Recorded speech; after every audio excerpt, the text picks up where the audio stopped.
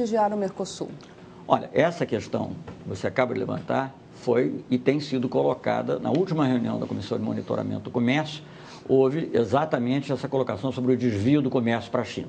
E combinamos uh, uma, uma, O assunto vai continuar se discutindo, foi justamente uma preocupação brasileira, porque nós queremos, ao mesmo tempo.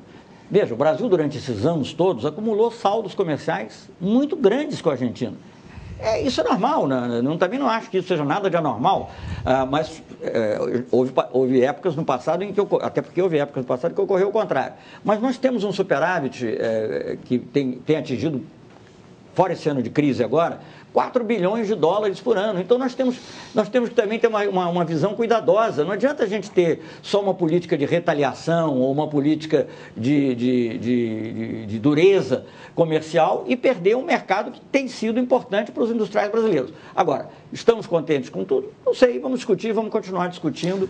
E essa questão específica que foi mencionada pelo, pelo, do, pelo Ademir, Ademir, Ademir, é uma questão que nos preocupa, efetivamente, o desvio de comércio, porque não faz sentido a gente aceitar restrições uhum. e, é, para, digamos assim, permitir uma certa sobrevivência de alguns setores da indústria argentina e isso está sendo aproveitado isso, pela China. Já que nós estamos falando do Mercosul, que contribuição está dando o Ministério das Relações Exteriores para a entrada da Venezuela no Mercosul, porque ela não consegue entrar, parou lá no Senado.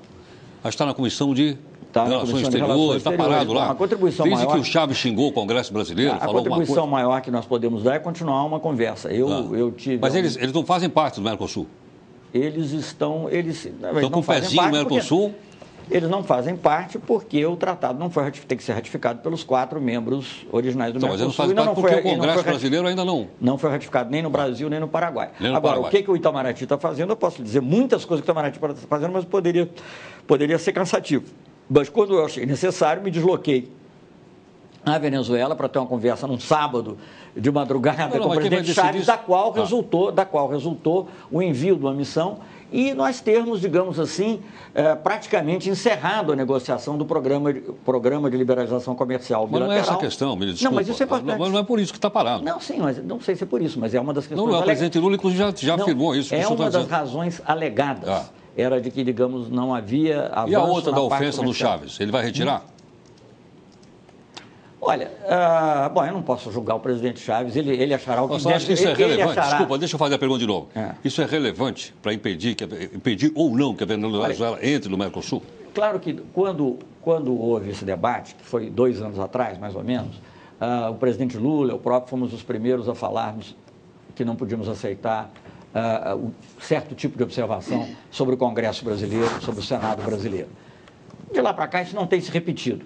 Agora, se formalmente ele vai fazer uma carta pedindo desculpa, não sei te dizer. Ministro, o senhor acha que a política sul-americana é, aconteceram várias iniciativas sul-americanas de integração, por exemplo, a própria Unasul é um exemplo delas, num momento, assim, num, num, ciclo eleitoral, em que todos, a maioria dos governos na região, com poucas exceções, Colômbia, Peru e tal, eram ou governos de centro-esquerda ou os chamados bolivarianos e tal. O senhor acha que a integração sul-americana, a maneira como ela ocorre, depende muito do signo político dos governos? Não, não acho, não acho. O presidente Lula tem excelentes relações com todos eles. Eu acabo, por exemplo, de vir da Colômbia uh, Cabo de Vir, quer dizer, já faz uns 10 ou 15 dias. do ponto de que vista tem todo o interesse. Tá? Que, todo mundo sabe que isso virou um assunto de política interna e que a política sul-americana infelizmente, infelizmente, é infelizmente, um infelizmente, se é visto assim por alguns setores, nós não vemos assim. Nós achamos que isso faz parte de uma política de Estado do Brasil.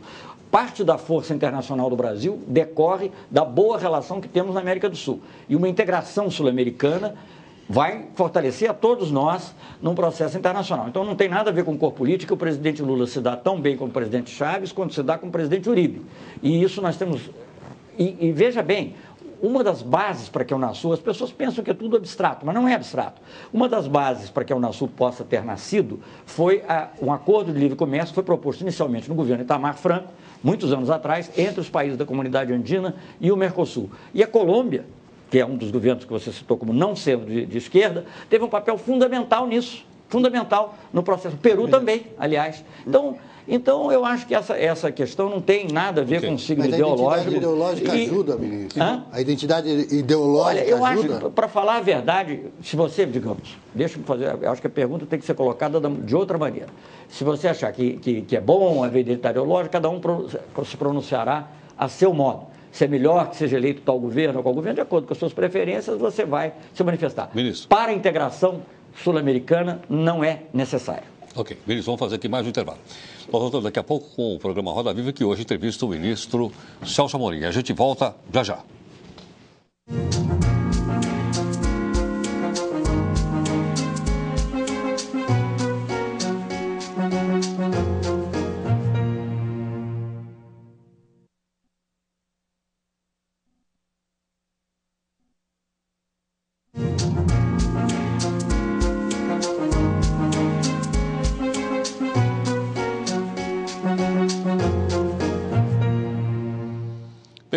Aqui para o último bloco de hoje do programa Roda Viva, que entrevista o ministro das Relações Exteriores, Celso Amorim. Ministro, explica para o nosso telespectador o seguinte: às vezes a coisa muito teórica fica difícil até para eu entender, porque também sou leigo. Por que é que o Brasil não apoiou um candidato brasileiro para a presidência da Unesco que foi apoiar um. Deixa eu só concluir a pergunta. né? Foi apoiar um candidato de um outro país, me parece, o Egito, né? Uh, que havia até já criado algumas constelações por causa das suas opiniões a respeito de cultura, etc. etc. Por que, que não apoiou? Heródoto, primeiro porque não havia candidato brasileiro. Mas eu mesmo entrevistei o candidato não, brasileiro. Não você não entrevistou o candidato não. brasileiro, porque candidato só existe quando um país lança. E hoje em dia tem nove candidatos à Unesco, nenhum deles é um brasileiro. Tem o egípcio, tem o russo. Então o representante tem... brasileiro lá em Paris não, não, uh, se lançou candidato sem autorização do governo brasileiro. Ele não é representante brasileiro em Paris. Ele é uma pessoa muito respeitável, por sinal. Ele é diretor-geral adjunto da Unesco. E ele se achou, ele achou que tinha credenciais. Sim, pra... então, Deixa eu terminar de responder também. É, ele achou que tinha credenciais para ser diretor-geral da Unesco. Eu não estou discutindo se ele tem ou não tem, porque isso também não é um concurso público, é uma questão política, são situações políticas.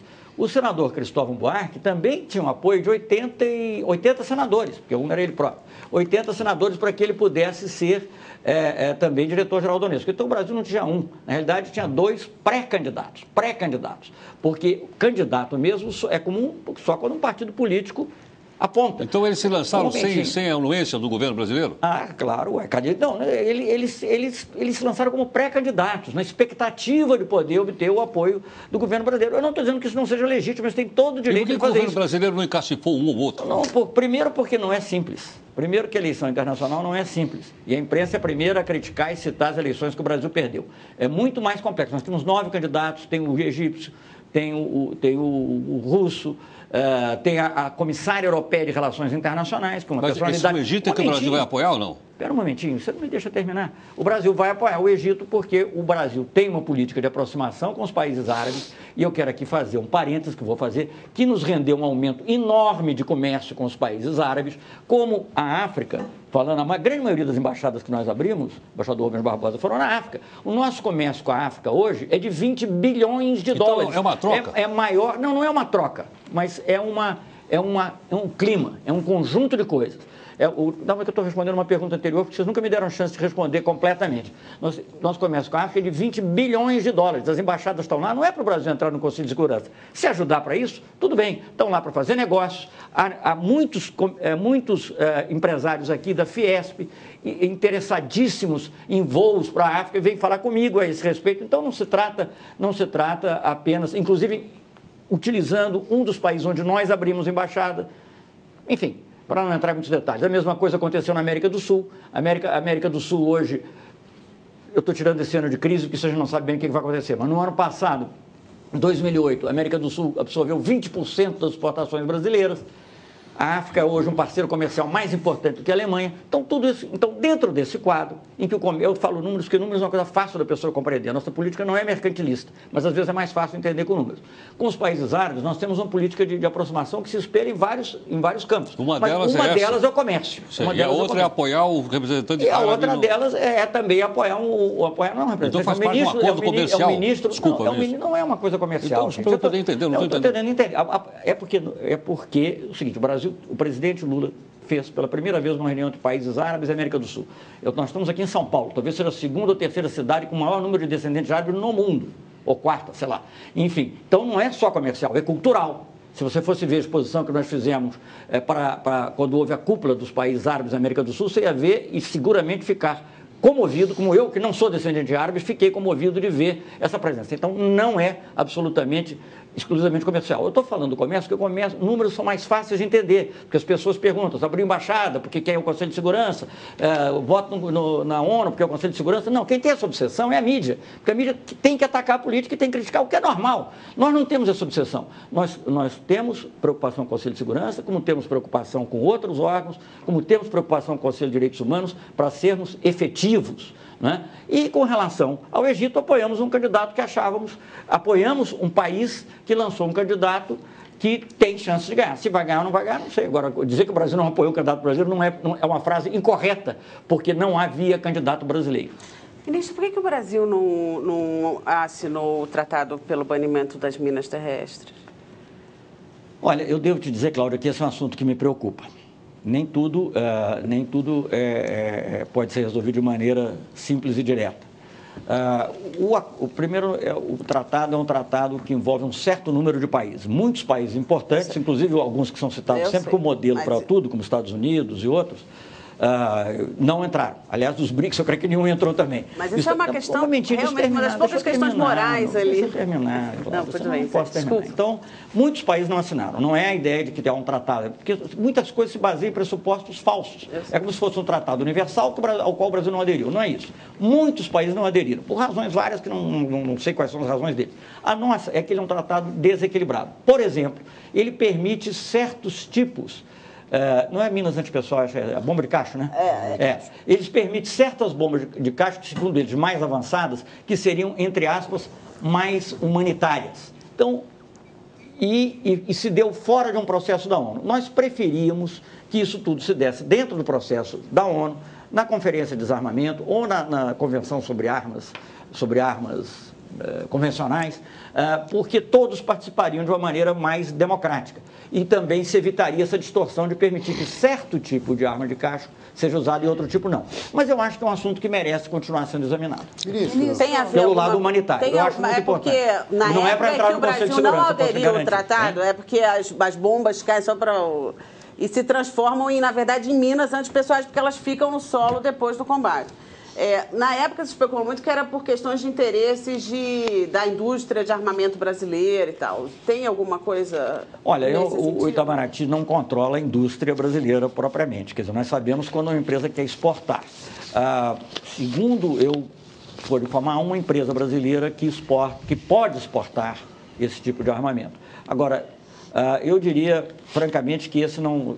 Há esses outros aspectos que eu mencionei a você também que são importantes. Ministro, tem, os internautas Mas... estão insistindo numa pergunta que eu acho importante, assim, que é, várias, fizeram várias perguntas nesse sentido. É, o que é possível fazer sobre a discriminação e a falta de respeito com os brasileiros, especialmente nos aeroportos? Parece que o senhor também já se rebelou contra isso. Olha, a vida é dura, viu? E o, e o, e o mundo não é um lugar fácil para se viver. Né? Se fosse, a gente escolhe, escolhesse todos os países, como a gente pode escolher os amigos, no mundo a gente tem que viver com, é, como vizinhos. Você tem que ter os que tem e vai em frente, como pessoas, né? você se relaciona na sociedade. Agora, o que, que nós temos procurado fazer? Dar o máximo de proteção a esses brasileiros, Parte do aumento de postos que nós tivemos foram na área consular, para dar mais proteção brasileira. Quando foi necessário haver uma negociação política, como foi o caso da Espanha, houve uma negociação política. Agora, se me perguntarem se a gente pode evitar de todos esses problemas, eu direi que não. É um, é, um mundo é complicado. Ah, da mesma maneira que volta e meia vem pessoas de outros países no Brasil e são recusadas nos aeroportos. Mas não na mesma quantidade, né, ministro? Mas as coisas são complexas. Sim, ministro, mas não na mesma quantidade, né? Gente, não, não na mesma quantidade.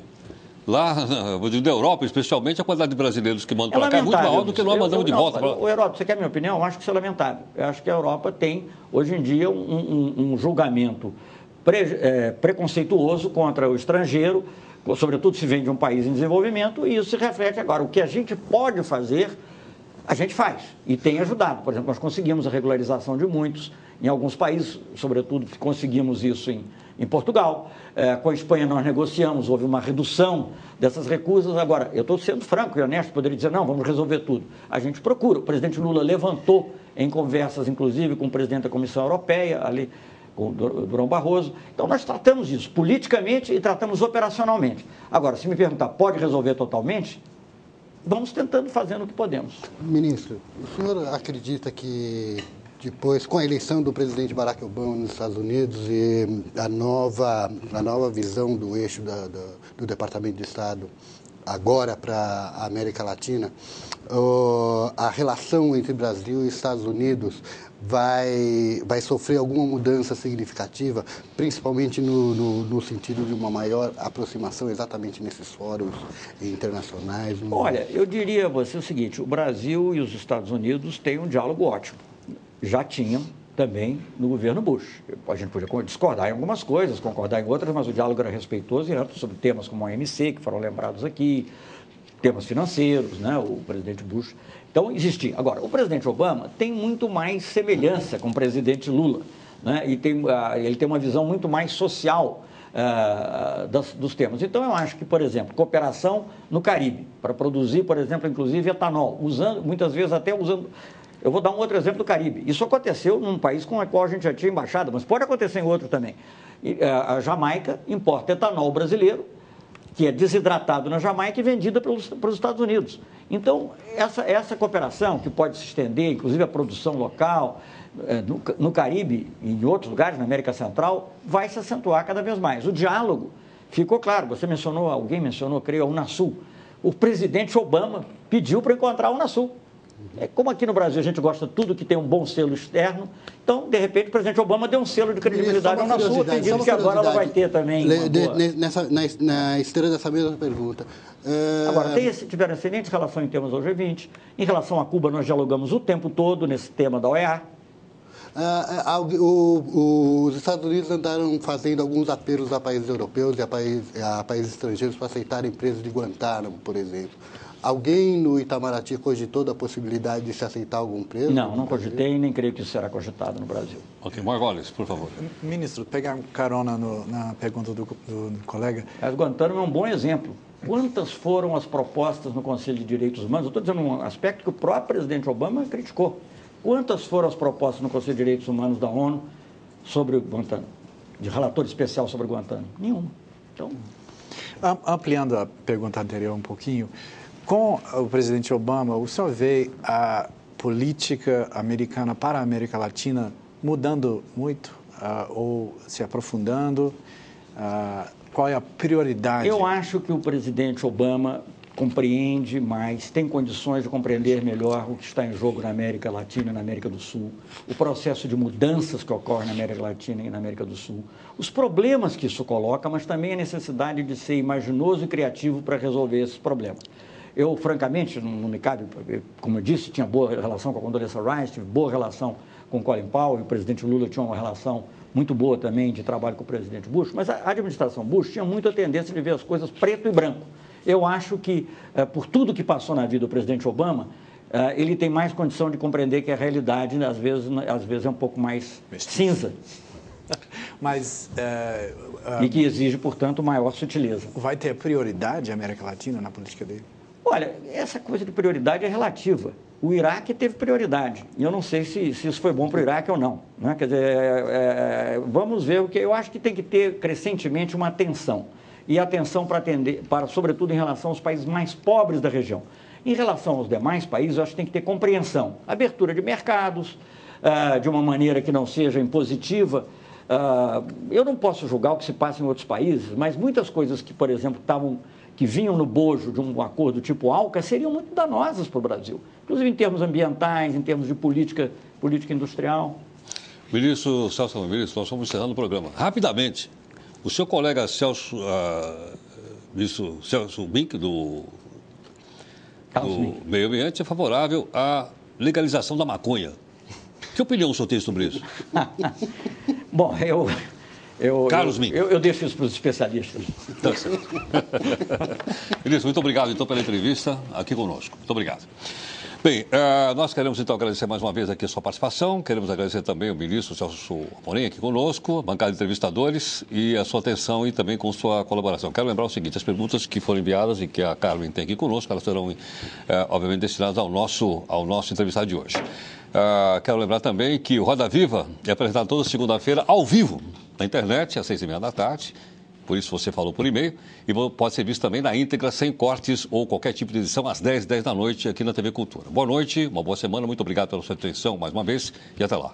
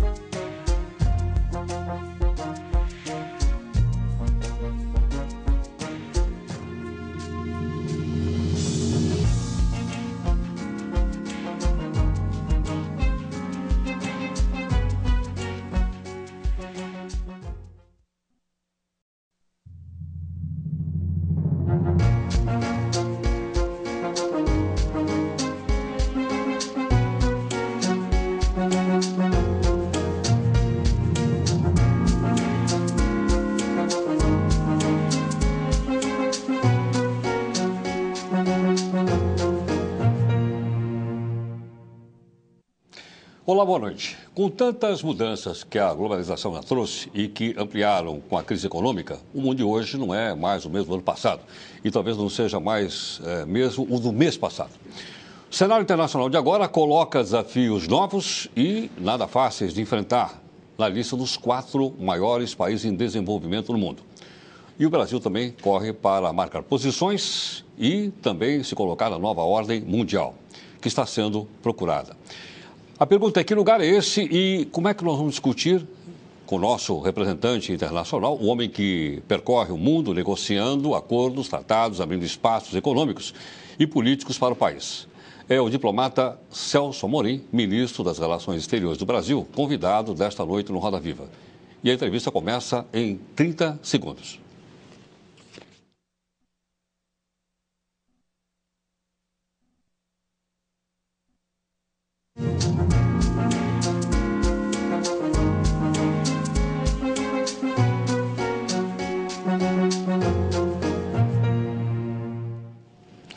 Celso Amorim ocupa o cargo de ministro das Relações Exteriores pela segunda vez na sua carreira diplomata.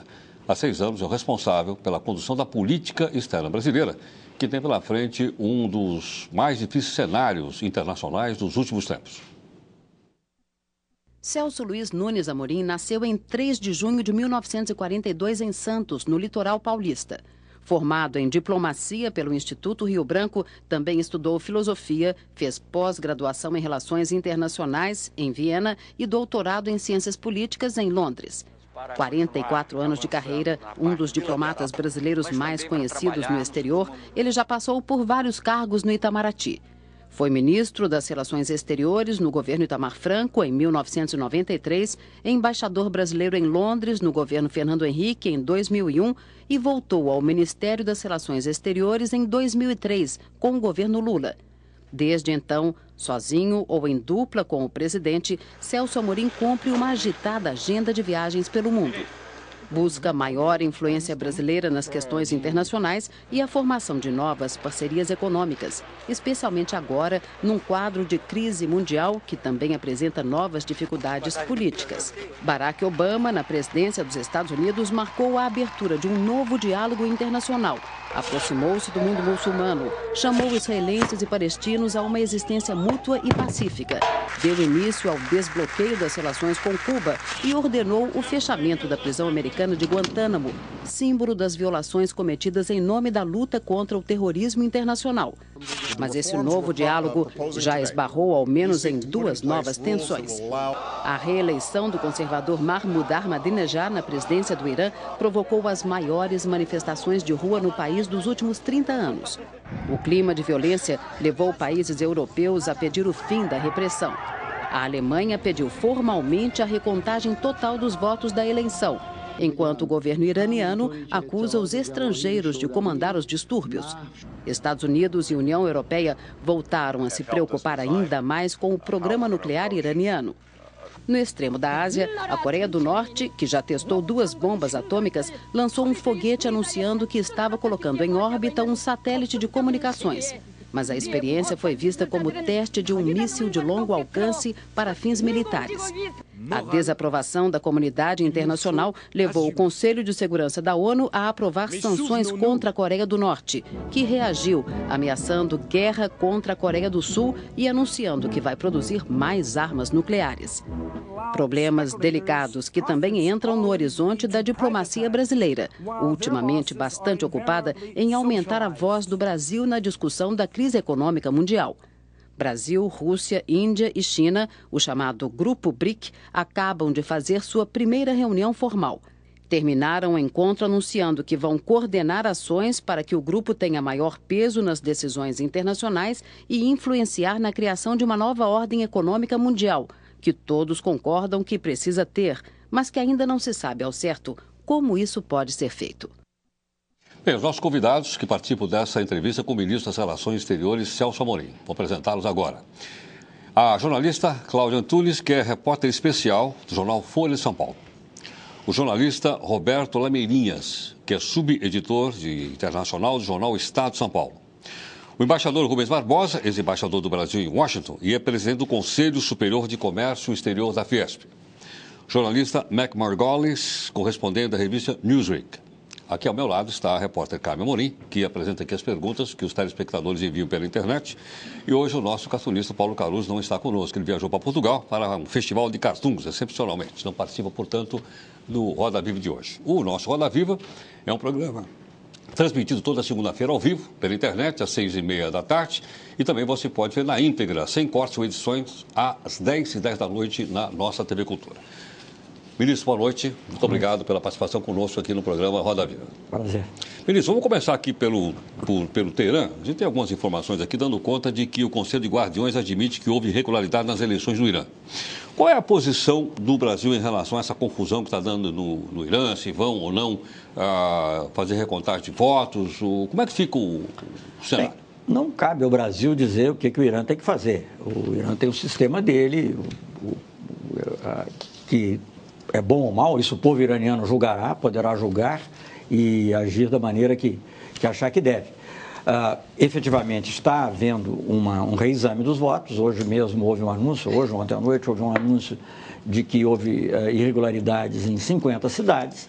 Uh, se isso vai ser ou não suficiente para alterar o resultado, eu não sei mas eu acho que não cabe ao Brasil tomar a posição do que, que tem que fazer, se tem que haver eh, recontagem, não tem que haver recontagem. Nós acompanhamos. Evidentemente, o Irã é um país muito importante.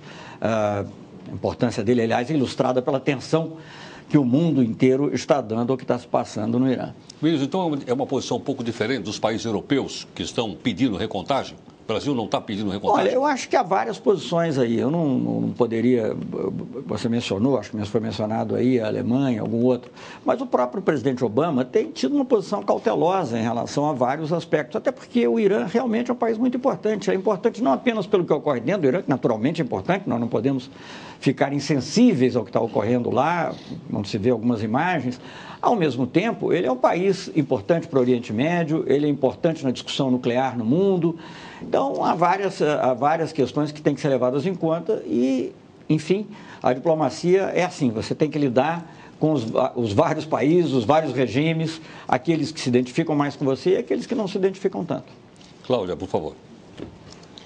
Não, é, é Bom, é, só para continuar nesse assunto, então, é, eu na verdade queria fazer uma pergunta sobre outro tema, porque. Ah, fácil. É... eu prefiro. Não, é que. Ai, gente. Não, é porque Nesse, nesse caso específico aí do Irã, é, houve certamente ali uma precipitação do presidente Lula, né? Acho que... Não, eu não estou de acordo com você que houve precipitação. Ele foi instado aos jornalistas para dar uma opinião com os dados que ele tinha naquele momento. Ele deu uma opinião que não é muito diferente, por exemplo, de análises feitas até no Washington Post por jornalistas independentes que não defendem o governo iraniano, uhum. mas que fazem uma análise de fato de que acharam, acharam, eles concluíram naquele momento que tudo indicava que aquele resultado correspondia às pesquisas que eles tinham feito. Isso. É, havia outras várias pesquisas, que outras é, várias opinionistas com opinião diferente. A, a questão, eu acho é. que. É, eu acho que o, o, o que eu acho a posição tradicional no Brasil, num caso desse, seria dizer: vamos esperar os iranianos que vão decidir, como o senhor disse agora. E não foi bem o que o presidente Lula disse. O Lula disse, as declarações dele deixaram claro ali que ele apostava num, num resultado que estava sendo contestado internamente. Como no caso não teve observatório internacional para dizer se a eleição, se a contagem correspondeu ao resultado correto ou não, é, ficava difícil tomar posição, né? No... Não, ele não tomou posição. Acho que ele deu apenas uma análise de fato com os dados que nós dispunhamos naquele, dispunhamos naquele momento. Ministro, o que talvez tenha causado a percepção de que houve uma precipitação por parte do presidente Lula, talvez tenha sido o argumento de que o Ahmadinejad teria ganhado a eleição por 62% dos votos. É, se a gente lembrar que, por exemplo, no Iraque do Saddam Hussein, é, o Saddam sempre vencia as eleições por 99,8% dos votos. Esse não é um argumento um pouco fraco para que se. Olha, veja bem, de, não, não, não porque foi uma eleição em que houve muito debate, houve muita discussão. É, eu sei que muitas vezes na, na, política a lógica não prevalece, mas uma análise lógica, à primeira vista, é que é, uma eleição onde houve tanto debate, houve indiscutivelmente, os próprios observadores ocidentais disseram que há muitos anos não havia ah, há muitos anos, não, desde sempre, porque antes do regime atual era o regime do chá. Né? As pessoas parecem estavam falando que antes havia uma enorme democracia do Irã. Mas, enfim, que é, é, nunca tinha havido uma eleição com tanta participação, com tanta discussão. Não é muito lógico, digamos, que uma, uma eleição dessa natureza depois tenha havido, digamos assim, que nome se queira dar, irregularidades tão maciças que conduzissem a uma, a uma, a uma, a uma maioria de 63%. Esses outros regimes a que você está se, se referindo são to eram totalmente diferentes, não havia esse tipo de discussão. É? Aliás, em geral, eles não eram eleitos com 63%, eram eleitos com 100%. Com 99,9%. Pois é, porque aí era uma, era uma situação totalmente diferente. Eu acho que foi muito diferente e eu acho que, independentemente do que venha a ocorrer, uh, e nós estamos na expectativa do que venha a ocorrer, uh, o que ficou claro para o mundo, e eu acho seguramente dentro do próprio Irã, é que a sociedade iraniana é uma sociedade muito dinâmica e que está em transformação. Eu estive lá uns seis meses atrás, mais ou menos, e pude sentir isso. Uh, a sociedade é crítica, em geral. Quer dizer, um reflexo até do próprio desenvolvimento. Existe uma avaliação do Itamaraty, por exemplo, de que a, a manutenção do Ahmadinejad na presidência do Irã é, pode ser positivo. Não, é, não, é... cabe a nós fazer esse tipo de julgamento. Quem tem que fazer esse julgamento é o povo iraniano. Não é? Eu acho que não cabe ao Brasil dizer isso. está, há um processo em andamento. Vamos ver como ele termina, como ele se desdobra. Eu acho que há mudanças que estão em curso. Agora, como elas vão se processar exatamente, quanto tempo e em que sentido elas irão, não sei. Eu acho que há um fato real e todo mundo vendo, está assistindo o que ocorreu. Embaixador Rubens Barbosa. Terminada a, a, discussão interna, está, está mantida a viagem do presidente Ahmadinejad ao Brasil? Olha, houve um convite, ele nunca foi retirado, pelo contrário, o presidente Lula disse que convidará. As relações do Brasil com o Irã são relações de Estado a Estado. Né? Quer dizer, são relações. O Irã, como eu dizia antes, é um, e como não precisaria dizer, aliás, a tensão internacional ao Irã seria suficiente para mostrar. Uh, o Irã é um, é, um, é um importante interlocutor na cena internacional é um importante interlocutor para a questão do Oriente Médio que interessa ao Brasil e interessa ao mundo. É um importante interlocutor na questão nuclear. Eu acho que nós temos que ter uma relação de Estado a Estado, como temos com muitos outros. Olha, veja bem, eu não, não quero ficar citando exemplo de países, eh, embaixador, porque Vossa Excelência sabe também, como o embaixador, que não, não cabe muito ao ministro ficar citando exemplo de país. Mas quantos, em quantos países ocorreram coisas que nós também não concordávamos, que nós também não apreciávamos, isso não impediu o nosso diálogo com eles. Marco Wallace. O, o, o ministro, só, só para bater no, na mesma tecla. Uh, uh, como o senhor falou, uh, o próprio Obama teve uma reação cautelosa, mas mudou. Dos, de alguns dias para cá, criticou o processo, falou que está havendo está muito atento uh, e preocupado com violações de, de direitos uh, humanos e civis lá. O Brasil ao que parece, não mudou desde a primeira opinião que o, o presidente Lula emitiu. Olha, eu primeiro a tradição brasileira é diferente da tradição dos Estados Unidos. Nos Estados Unidos tem uma tradição uh, de opinar sobre a situação interna de todos os países. O Brasil não tem essa tradição, como aliás foi lembrado por alguém aqui antes, uh, sobre a situação interna e, e agora. Se você me pergunta, preocupa o que você vê na televisão? Preocupa, preocupa, preocupa. Agora, qual a consequência que nós vamos tirar disso? Nós temos que esperar, aguardar, ver como as coisas evoluem e, sobretudo, não ter, digamos, essa pretensão de superioridade moral que certos países têm de dizer como é que deve ser na terra dos outros. Né? Já houve é, dúvidas sobre regularidade em eleições em muitos lugares do mundo. Ministro. Ministro, é, só para. Nessa, nessa questão aí de se a gente se pronuncia ou não sobre a questão interna de outros países, eu acho que tem uma questão de fundo maior, assim, que é o seguinte. À medida que o Brasil amplia as suas relações, em que a posição do Brasil é, no mundo, o que o Brasil pensa sobre determinados processos, se torna mais importante, acho que, e como o Brasil é uma democracia, acho que tem uma cobrança natural de diversos setores da sociedade, porque todo mundo tende a se envolver na discussão da política interna e a tomar um partido em situações internas de outros países. Então, o senhor não acha que nessa nova posição do Brasil, nesse novo tipo de, de, de interação muito mais global, é, pensar só em relações Estado para Estado, é, por exemplo, há uma cobrança muito grande de organizações não governamentais e de outros setores da sociedade que a política externa tem que pronunciar sobre tal e tal tema. O senhor não acha que isso tem que ser um pouco repensado também? Cláudia, Como é que tem que deixa, ser a relação deixa, deixa da diplomacia com esse tipo de cobrança, que é justa, porque eu, acho, acho que as é pessoas estão preocupadas com coisas Claro, e, eu, eu, e, nós também estamos. Então, eu, eu... Deixa, deixa eu tentar responder a sua pergunta. Primeiro, eu fico contente de você reconhecer que a voz do Brasil hoje em dia é muito mais ouvida no mundo. É importante ouvir isso de uma jornalista, né, que isso nem, nem sempre é reconhecido. E nós ficamos contentes com isso. Isso traz mais responsabilidades? Traz. Como é que nós expressamos isso nos foros adequados, no momento adequado e da maneira adequada? Agora, essa maneira não é necessariamente a mesma com que os Estados Unidos ou alguns países europeus veem as situações. Né? Eu dizia a vocês aqui antes desse programa que eu não volto a me excusar, não vou citar o nome do país, mas há países em que há 20 ou 30 anos, antes, o predecessor do atual conselho, havia Comissão de Direitos Humanos, é condenado todos os anos. Né? E às vezes, e até hoje, inclusive, em algum caso, em um outro caso, até com votos sempre do Brasil também. Isso contribuiu para melhorar a situação dos direitos humanos nesse país, eu tenho dúvidas.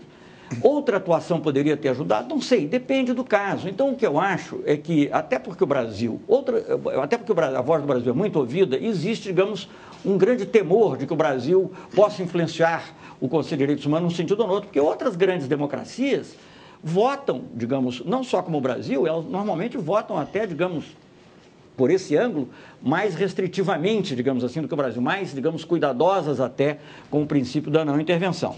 Mas é, pode dar exemplos? Deixa, deixa, não, exemplo das democracias não, exemplo, eu posso é dar. Porque nem sempre fica claro, é, por exemplo, até nas votações do Conselho deixa, de Direitos deixa Humanos, dar exemplo. Eu vou lhe em dar. que caso não, o Brasil toma uma terminar. posição mais dura de condenação, em que caso o Brasil tenta negociar... Veja um caso que foi muito mencionado, que foi o caso do Sudão.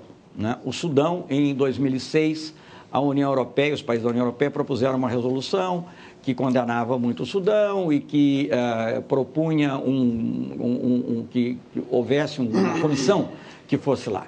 E não só o Sudão era contra, mas a União Africana era contra. Nós achamos que isso não levaria a lugar nenhum, porque haveria um isolamento crescente do país, uma impossibilidade de diálogo.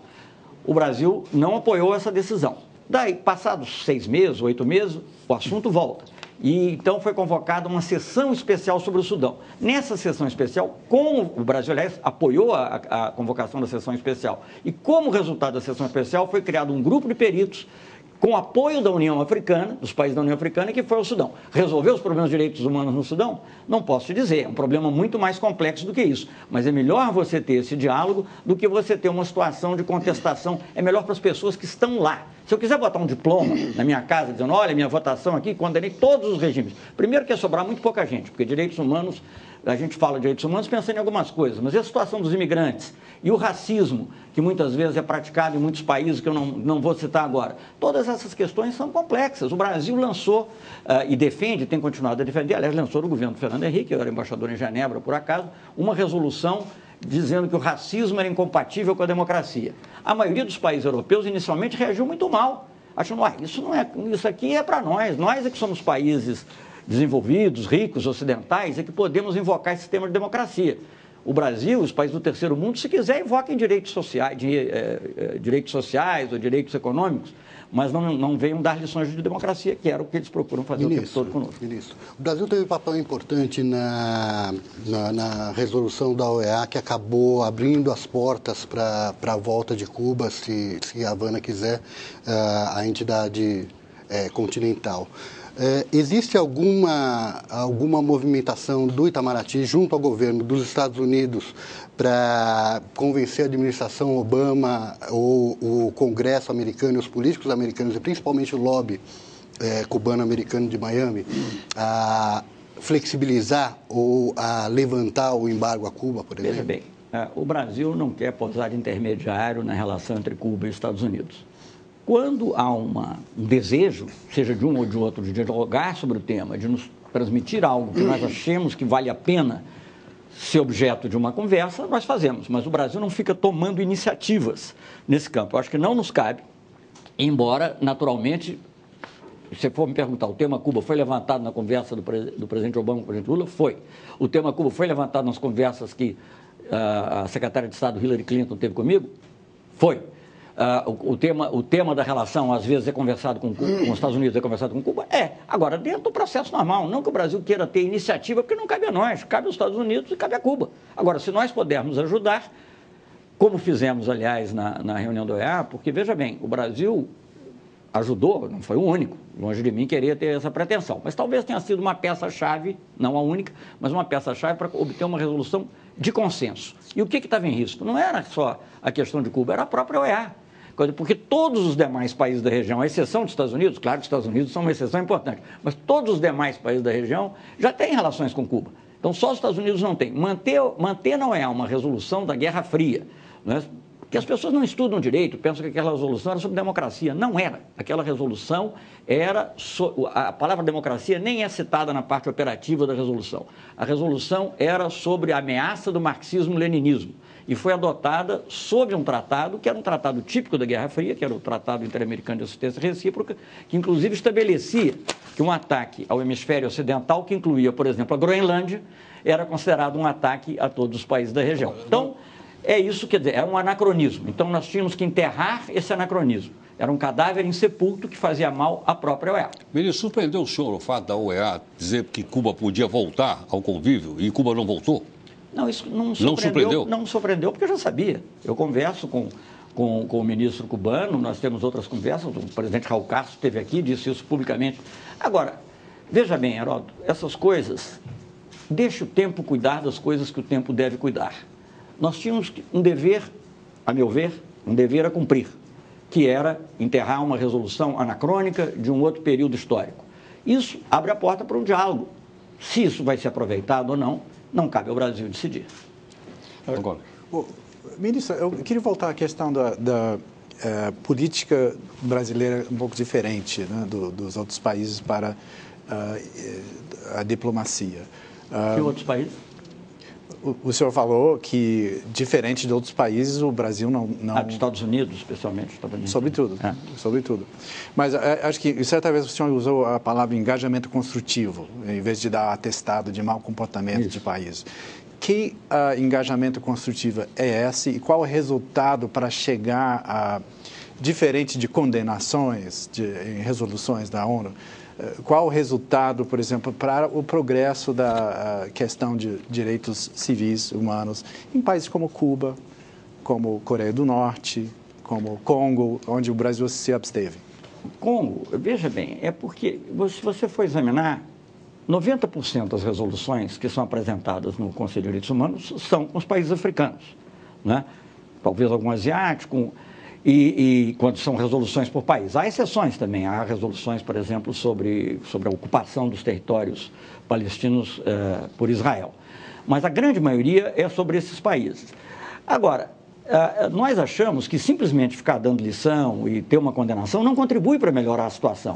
Mesmo a situação no Congo, ninguém vai dizer que não houve, que, que há ou não há, mas não é isso que interessa. O que interessa é estabelecer um diálogo. São várias facções. Ah, ocorrem coisas que podem ser da responsabilidade do governo, podem, estou dizendo, ou outras que podem ser eh, responsabilidade das forças rebeldes no Congo. Se a própria União Africana que, que procura defender a democracia, que tem apoiado, que, por exemplo, há um país, a Mauritânia, que é um país onde houve um golpe de Estado, está suspenso da União Africana. Então não se pode dizer que a União Africana não procure valorizar também a democracia. A grande maioria dos países africanos hoje tem governos eleitos. Tem imperfeições? Tem. Imperfeições tem em vários países do mundo, você sabe disso, Margulhos, tão bem quanto eu. Agora, se, a, se os próprios países africanos não achavam que era produtivo para a situação no Congo você votar uma resolução criando uma, uma, um, uma, enfim, um mecanismo de investigação, nós, nós não podemos querer, como vocês dizem em inglês, second guess, quer dizer, saber mais do que eles a esse respeito. Nós podemos ajudar.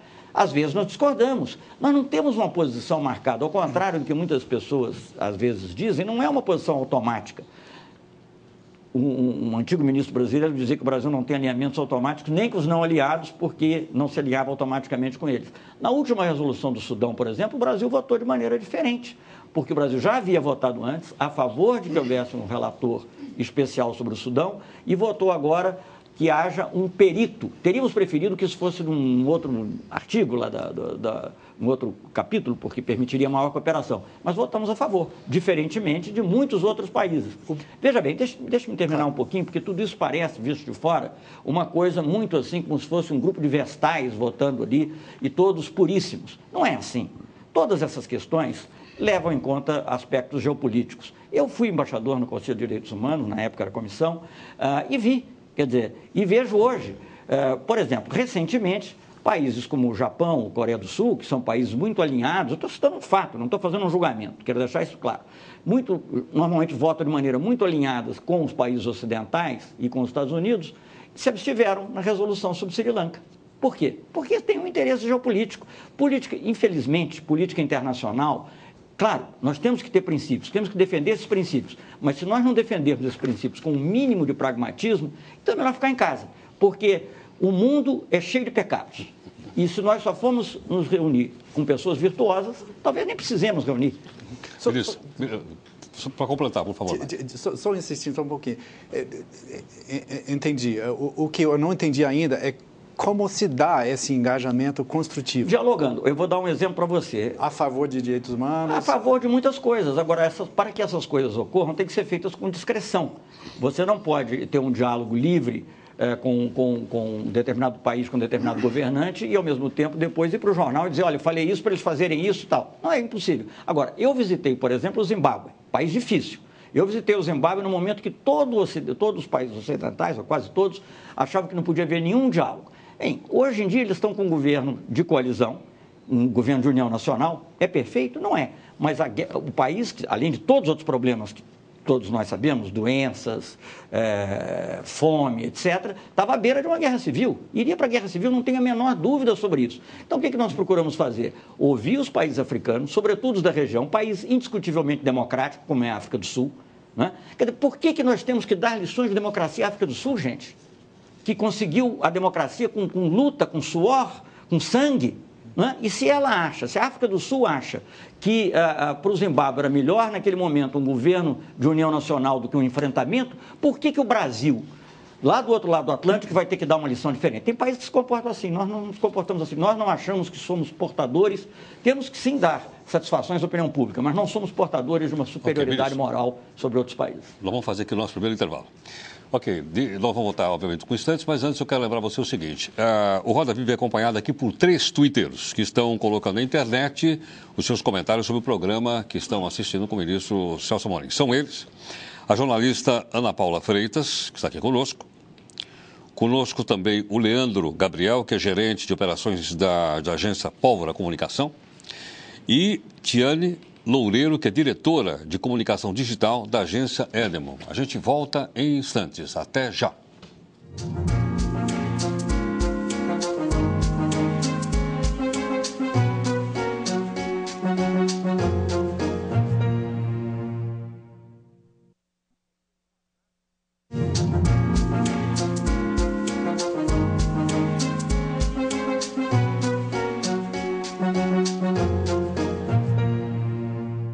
E nós voltamos aqui no programa Roda Viva, que hoje entrevista o ministro das Relações Exteriores, Celso Amorim. Ministro, como é que está a campanha para que o Brasil ocupe um posto como no Conselho de Segurança, posto permanente no Conselho de Segurança da ONU? Primeiro que não há campanha.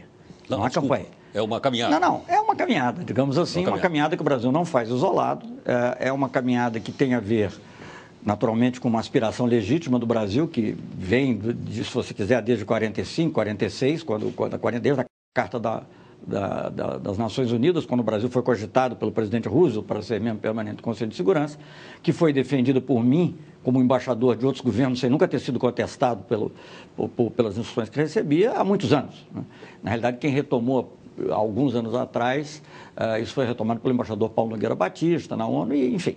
Uh, é, um, é uma. É, mas deixe-me talvez responder mais diretamente. Vou responder avanço, mais diretamente a sua pergunta. É um processo complexo né? porque é um processo que tem a ver com a legitimidade uh, uh, das, dos, das, desses, dos mecanismos de decisão uh, no cenário internacional. E, sobretudo, numa área que talvez a mais sensível de todas, que é a da segurança. então, não é um processo fácil. o Brasil, como eu disse, está junto com outros, quer dizer, há um grupo de quatro países que tem promovido muito ativamente essa reforma, que todos eles candidatos, digamos assim, que é a Alemanha. Então, quando fala em candidato, tem que ter campanha, né, ministro? É bom, mas candidatos, por isso que eu botei entre aspas, né? Ah, tá. Então, olha só, o Marcos, é, Marcos Bem, Venuto, de Belo Horizonte, ele está perguntando exatamente qual é a, a real perspectiva do Brasil. Deixa eu dizer, então, bom, então eu, eu, eu acho que o processo de reforma terá que ocorrer nas Nações Unidas, porque o Conselho de Segurança não corresponde mais à, à, à realidade de hoje. Quer dizer, os cinco membros permanentes continuam sendo países muito importantes, mas há muitos outros que são importantes. Então, para que as decisões tenham legitimidade, para que elas possam ser apoiadas, é preciso que o mundo perceba esse conselho como representativo também. É um pouco o que se passou com o G20 em relação ao antigo G7, porque as pessoas falam muito do G8, mas esquecem de dizer que na parte econômica, na realidade, ele é, em grande medida, um G7.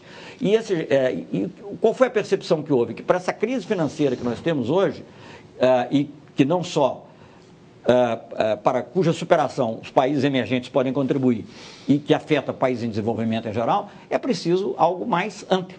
Então, da mesma maneira que nós conseguimos passar de um G7 para o G20 para tratar dos temas financeiros e estamos trabalhando na reforma do, do fundo, da reforma do banco, no, Conselho de Segurança isso também vai ocorrer. Agora, como vai ocorrer exatamente, não sei. Então, quando você pergunta como está a campanha ou como está a caminhada, é algo que tem avançado, porque há um número maior de países que compreende a necessidade da reforma, mas, enfim, uh, uh, acho que o momento, de certa maneira, até por causa da própria crise financeira, de certa maneira, acentua a necessidade de mudança da governança global, mas longe de mim achar que é uma questão fácil. Agora, se nós não tomarmos as posições que tomamos, pode haver uma reforma que nos deixe mal. Embaixador Rubens Barbosa, por favor, embaixador. Nesse, nesse tema, uh, essa mudança da, da composição do Conselho de Segurança Nacional, do Conselho de Segurança da ONU ocorrerá quando os países membros permanentes mudarem de posição, sobretudo os Estados Unidos, o que não é, é previsível. Agora, de fora, é, é difícil a gente imaginar que não esteja havendo uma campanha, porque esse assunto é levantado em todas as visitas internacionais, ah, muita gente associa a abertura de 36 embaixadas com essa questão uh, da, da, da, busca do, do, de um assento permanente no Conselho de Segurança. Há outros, uh, outras medidas também, foi aludida aqui a posição em relação a direitos humanos, em que também se associa com Olha, a. Desculpe, desculpe então, interromper, é... não, não, não, porque a relação com direitos humanos, a, a questão de direitos humanos e a nossa aspiração, coloquemos assim, ou campanha, se você quiser chamar, tudo bem não tem nada a ver, eu acabei, eu dei as explicações e a racionalidade. Se eu quisesse, talvez, agradar países que você diz que têm mais influência na decisão, talvez eu tivesse que tomar outras decisões. Nós nos teríamos alinhado, por exemplo, com a invasão do Iraque. Nós teríamos nos alinhado com muitas outras posições que talvez serão mais caras a alguns desses membros permanentes que terão uma influência muito grande, sobretudo os Estados Unidos. Então, a, então, eu acho que o argumento não, não, não tem coerência. A pergunta, a pergunta que eu ia fazer é se uh, como não há perspectiva de uma mudança a curto prazo na posição americana, se essa campanha custosa de abertura de embaixadas, de recursos humanos, se essa campanha que está sendo feita, o benefício é. é, é Eu talvez é, responda a sua pergunta, embaixador, com a, a, o comentário inicial da jornalista Cláudia Antunes. Independentemente de ir ou não para o Conselho de Segurança, o Brasil tem hoje uma voz muito mais respeitada no mundo. Isso reflete evoluções do Brasil, algumas que começaram antes desse governo, não tem a menor dúvida, outras que foram, algumas foram aprofundadas nesse governo e outras foram desenvolvidas por esse governo, inclusive na política externa. Eu acho que a nossa abertura de embaixadas, por exemplo, na África, corresponde ao que vinha sendo, devo dizer antes, uma, uma linha de conduta da política externa brasileira, que foi meio interrompida por contingências financeiras, não sei quais, mas na realidade, muitas das embaixadas que nós, você está contando como abrindo, elas estavam sendo reabertas, muitas delas, porque existiram antes, foram fechadas. Agora, como o Brasil pode não ter uma embaixada na União Africana, o, o, segundo país de maior população africana do mundo? Não é como você não ter uma embaixada em Benin, de onde vieram tantos, tantos elementos que compõem a nossa população, que compõem a nossa cultura. Tem uma embaixada tão... em Antigua com 17, Olha, 20 mil pessoas. Diga, é eu vou dizer você, não, eu vou dizer você, a Venezuela e Cuba têm embaixada em todas. As pessoas querem que o Brasil tenha influência se é para se contrapor ou para ter um diálogo diferente, eu não sei. Então, nem Cuba nem Venezuela me consta que estão querendo um lugar permanente no Conselho de Segurança. Agora, o Brasil quer influir na política internacional? Quer. Esses países contam? Contam. Eu tive a experiência concreta quando o Brasil uh, teve a, a, participou da operação no Haiti uh, de, uh, de precisar de falar com os países caribenhos muito frequentemente, porque legitimava o elemento legitimador internacional uh, da situação no Haiti vinha em grande parte dos países da região, que são os países caribenhos. Ministro, é, eu acho que o, a situação do mundo hoje, a crise internacional e essa meio pulverização do poder no mundo, meio que multiplicou os organismos dos quais o, o, o Brasil participa. Então, o Brasil está no BRIC, o Brasil está no G20, o Brasil é, nunca é, a presença foi tão grande. Ao mesmo tempo, eu acho que para quem vê de fora, existe uma dispersão muito grande e mesmo entre os países que participam desses fóruns tem pouca, é, pouco consenso. Tanto que hoje, por exemplo, é, é quase impossível se esperar grandes passos normativos, por exemplo, conclusão da rodada Doha ou mesmo a reforma do Conselho de Segurança. Eu queria saber o seguinte: que recursos de poder e quais os objetivos que o Brasil almeja ao participar de tantos fóruns em que, na verdade, o consenso é muito difícil. É, não existe consenso entre os BRICS sobre várias coisas, inclusive sobre rodada Doha. Não existe, não existe consenso dentro do G20 sobre reforma da arquitetura financeira mundial. Então, é, é, Olha, eu não concordo com você. No caso da rodada Dor, não pode haver consenso da Rússia, no caso, porque ela nem membro da OMC é. Uhum. Mas os outros três têm tido posição. Não, mas não existe entre Índia e Brasil. Não, Índia, Brasil e China têm posições muito semelhantes. Uhum. Nós podemos ter discordado em um detalhe. Gente, se não houvesse discordância no mundo, o que vocês querem? Uma uniformidade absoluta? Não, não, mas Aí não precisava nem ter o fórum. É, o fórum não é. O fórum, qual o, fórum... qual, o que, que o Brasil quer ser, entendeu? Qual o é o, o Brasil, projeto brasileiro? O Brasil quer ajudar de o desenvolvimento do seu país. Para ajudar o desenvolvimento que o governo brasileiro quer que se desenvolva o Brasil.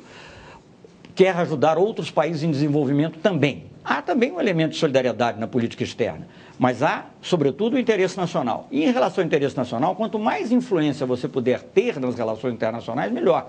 Tem consenso absoluto? Não tem. Mas quem conhece, é, o embaixador Rubens Barbosa certamente conhece, por exemplo, o processo de decisão na OMC, eu não sei quando vai ter, quando vai ser a rodada doce, ela vai terminar, de que jeito vai terminar. Se vão... De qualquer maneira, qualquer resultado futuro na OMC, e haverá em algum momento, será muito melhor para nós graças à ação que o Brasil teve, ao criar inclusive o G20 dentro do OMC, outro G20, né? em que países como a China, Antes de se falar tanto, já acho que talvez até o Dimonil já não tivesse falado, mas antes de falar tanto dos BRICS, em que a China, a Índia, mas também a África do Sul, uh, também a Argentina, uh, fazem parte. É? E isso influiu de uma maneira muito importante. Eu fui embaixador duas vezes em Genebra, eu conheço bem a OMC e fui ministro. Eu assinei o acordo de Marrakech. É? E, e pergunta para mim, achei ruim? Não, achei que era o que podia fazer. Mas o Brasil tem hoje muito mais influência para defender os seus interesses na medida em que ele também é capaz de articular o desenvolvimento, Ministro. o interesse de outros países em desenvolvimento. Então, eu acho que, agora, a participar dos fóruns é, é sempre um processo de diálogo, você não, não, não necessariamente concorda em tudo. Não é? é, é isso é normal.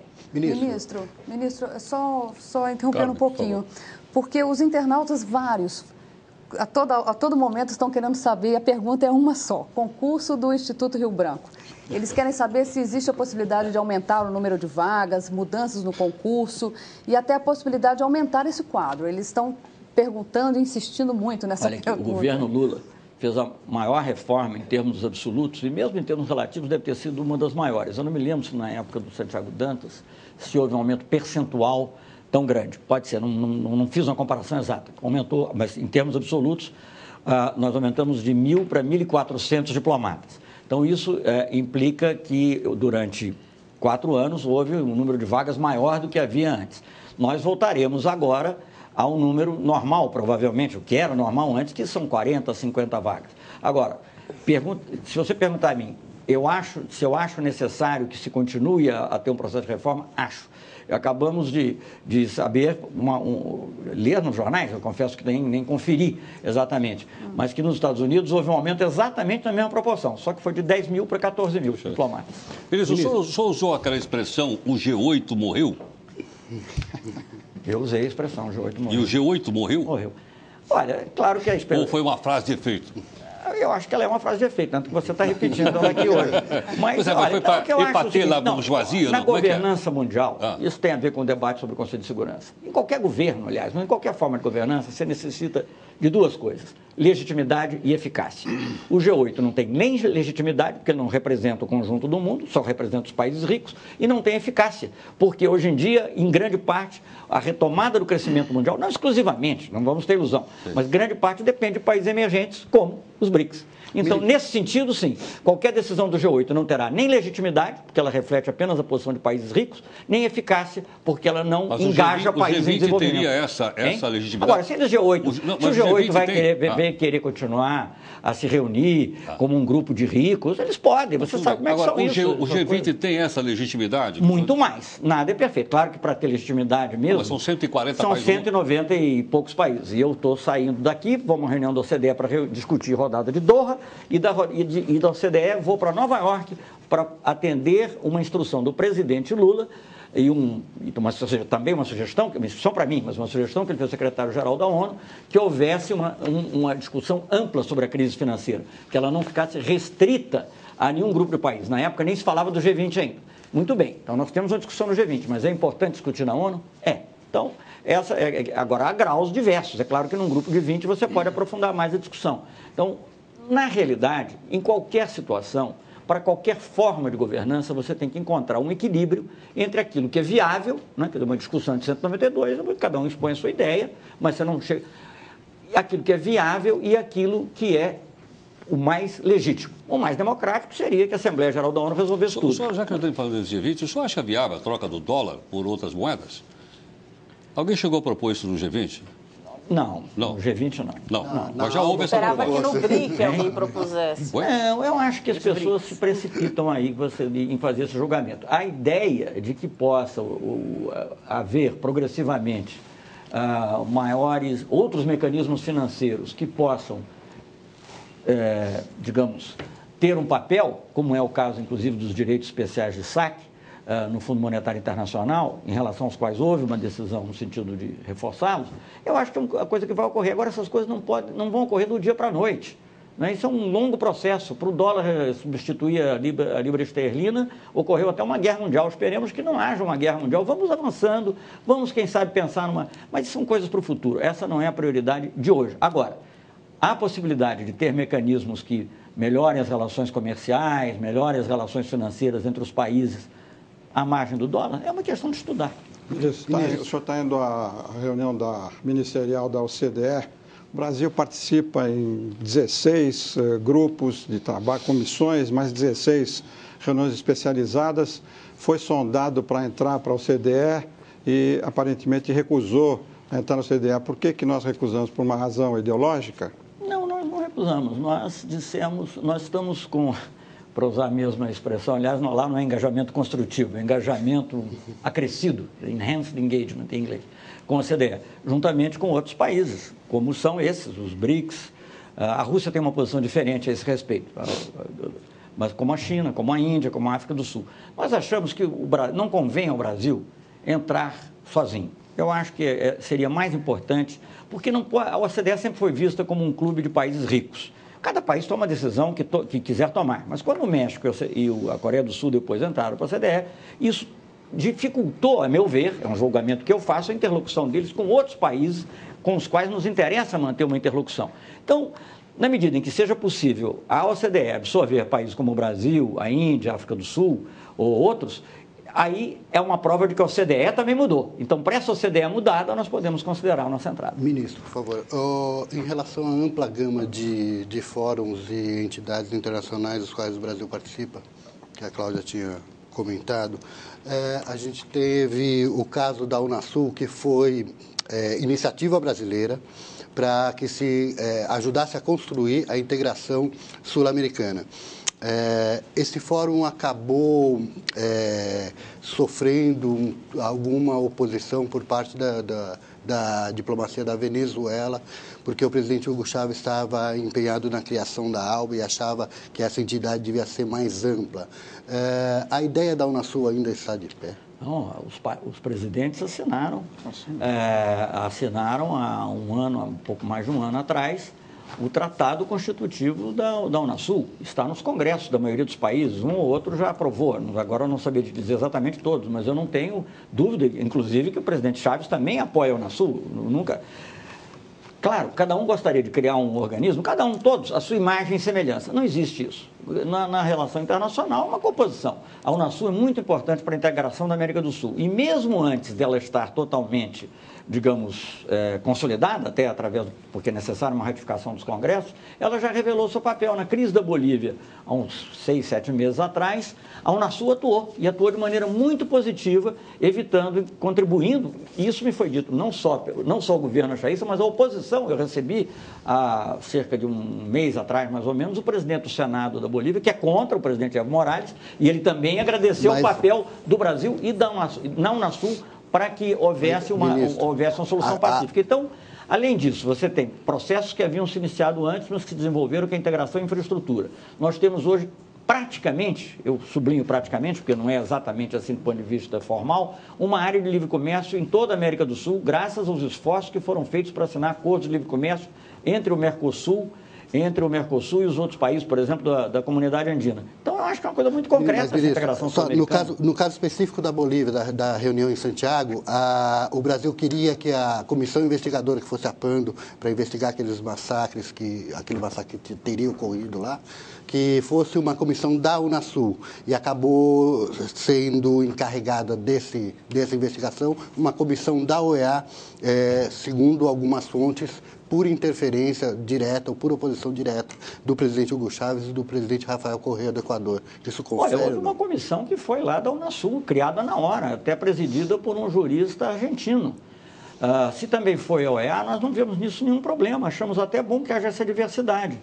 Né? Eu, aliás, é o que nós, por que, que nós estamos tão empenhados em manter a OEA? Porque achamos que a OEA é útil para a realidade internacional que existe no momento hoje. Não há, não há necessidade. Na Europa existe o Conselho da Europa, existe a União Europeia. Antigamente, é, quer dizer, era o mercado comum europeu. Você tem várias formas e vários níveis de integração. Vamos fazer mais um intervalo isso. Bom, nós ah, queríamos lembrar você também que o Memória aqui do programa Roda Viva está à sua disposição no nosso site, que é o tvcultura.com.br barra Roda Viva. Você pode ir lá pesquisar o conteúdo do nosso arquivo para que você possa fazer todas as consultas e também mandar seus e-mails para cá com as suas críticas, seus, enfim, que você achar que é, é relevante aqui no programa. A gente volta no instante. Até já.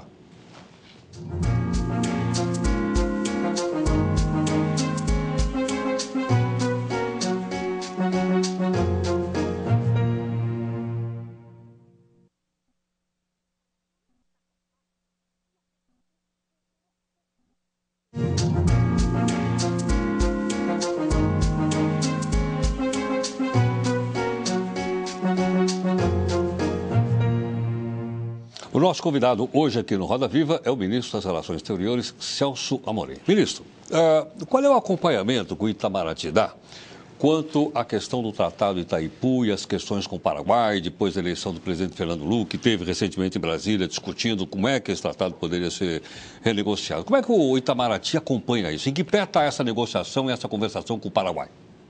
Olha, essa é uma negociação, uma conversa contínua e que tem levado muito tempo, tem exigido muita paciência, muita. Paciência é parte do Brasil ou do Paraguai?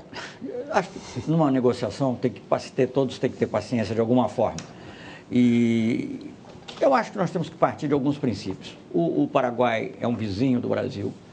O Paraguai é, é, é, uma economia do Mercosul, é a mais pobre, né? o país que tem maior, percentualmente maior número de pobres, o país que tem renda per capita mais baixa, é, e é um país que, para quem é, Itaipu é algo extremamente importante. É claro que é importante para o Brasil também por outras razões, é, segurança energética, etc. Mas para eles é extremamente importante.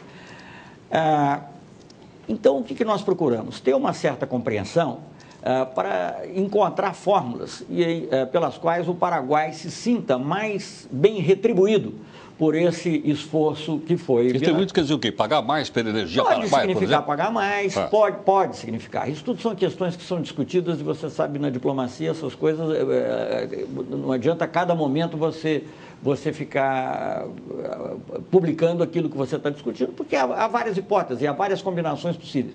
Eles têm, além da questão de receber mais, que naturalmente acho que qualquer um gostaria de receber mais, mas que além da questão de receber mais, eles têm uma preocupação muito grande com o que eles chamam de soberania energética, não é?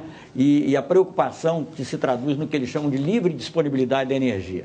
Eu acho, para falar a verdade, que o Brasil tem que olhar isso não para poder vender para outros países, porque nós temos a, nossa segurança energética que tem que ser protegida. Eu não sei quando o Brasil vai ter também uma capacidade de dispensar uma parte.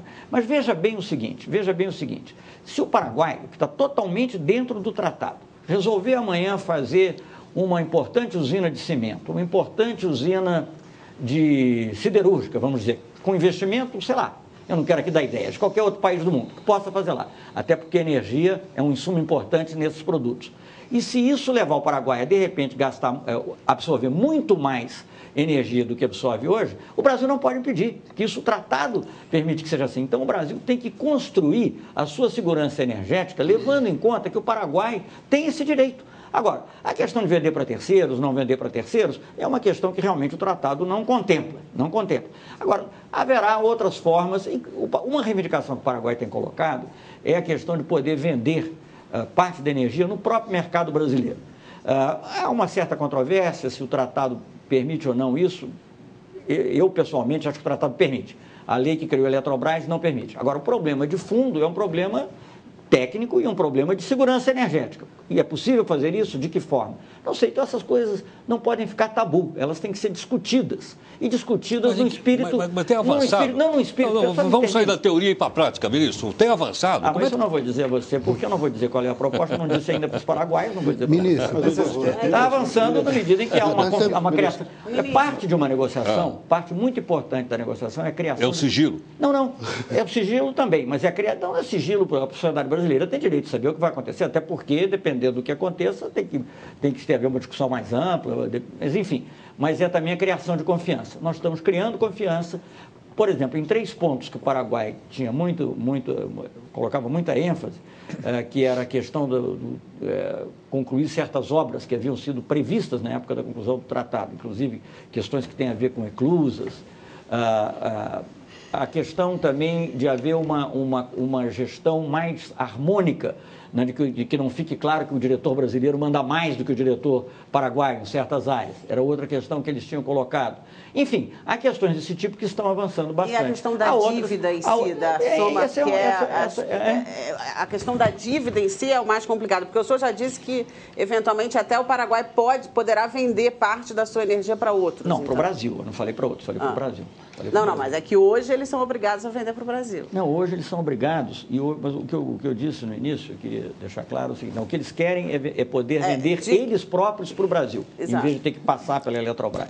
Isso é uma coisa que tem que ser discutida. Eu não sei, eu não sou técnico, mas tem que ser discutida sem preconceitos. Talvez dê, talvez não dê, dependendo da forma que for feita. Eu não, não posso, não tenho um julgamento definitivo sobre isso. Essa, essa questão uh, do Paraguai, eu acho que se encaixa dentro do contexto aqui da América do Sul.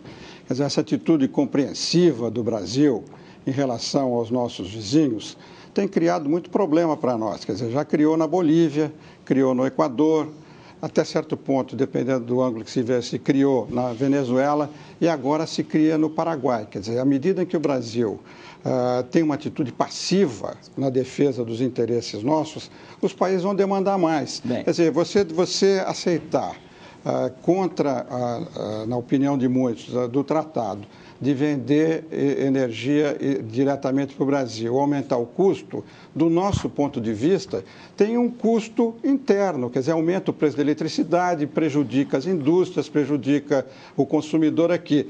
Quer dizer, na, em muitos casos, o que nós estamos vendo é que nós estamos cuidando mais dos nossos vizinhos do que do nosso próprio interesse. Embaixador, o senhor mencionou a Bolívia, né? E o senhor é um, acompanha muito a política internacional, conhece muito esses assuntos. Sabe, por exemplo, que em outras situações de fornecimento de gás houve problemas gravíssimos. Em outras situações, na Europa. Né? Nunca faltou uma molécula de gás no Brasil e não houve nenhum reflexo importante no preço. O que nós temos que... Espera um momentinho, deixa, deixa eu terminar. Hã? Eles não têm alternativa, só tem o mercado brasileiro. Bem, mas é, é, eles não têm alternativa porque só tem o mercado brasileiro, mas você sabe que em muitos casos as pessoas não têm alternativa e apesar disso há problemas. Como ocorreu, por exemplo, é, é, da Rússia com a Ucrânia, com, inclusive com o país da Europa Ocidental. Agora, eu queria dizer o seguinte, é, é só uma pessoa que não vê a realidade pensa que a atitude brasileira é que cria problemas. Eu acho que uma atitude rígida do Brasil, em face de um momento de grandes mudanças. Nós não vivemos mais na época do neoliberalismo. Nós não vivemos mais na época em que todos seguem a receita de Washington ou qualquer outra receita. Então, os países querem ser independentes, os povos querem ser independentes, os povos estão se afirmando e nós temos que ter uma política externa que preserve o interesse brasileiro, mas que reconheça esse fato. Porque se nós quisermos fazer uma política de tacão, uma política de, de, de, de digamos, de, pura confrontação não, com esse tá país, nós, nós iremos é, certamente é, ter maus resultados para o Brasil, além de, naturalmente, criar situações de instabilidade nesse país, o que ministro, também ministro, não nos interessa. Ministro, ministro não, tem aqui o Margolis, pela, pela sobre... oportunidade. O Margolis primeiro que estava... Por favor. So, uh, continuando no Sul, uh, um, o protocolo de Ushuaia, eh, de 98 eh, diz, eh, entre suas cláusulas, que a plena vigência das instituições democráticas é condição essencial para se associar ao Mercosul. Nesse sentido, Venezuela uh, preenche esse requisito e devia fazer parte do Mercosul? Olha, uh, primeiro que para ser associado do Mercosul já é necessário isso e a Venezuela já manifestou o seu apoio ao protocolo de Ushuaia.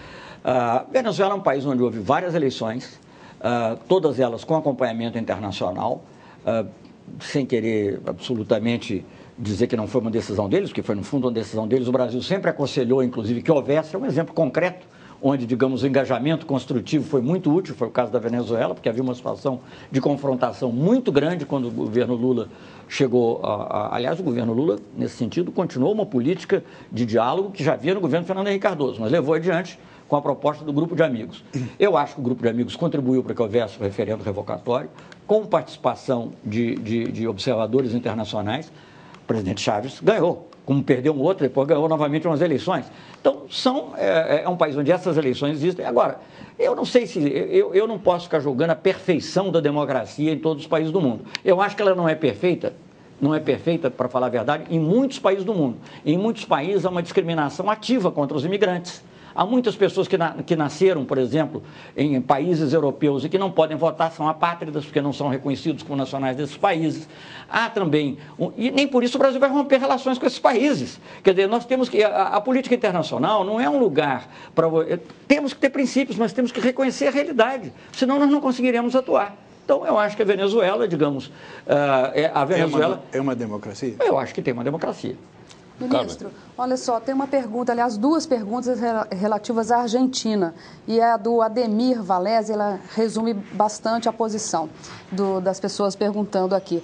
Ele faz, é de São Paulo, ele faz a pergunta: por que temos a sensação de estarmos sempre concordando com as exigências comerciais da Argentina, que prefere comprar da China a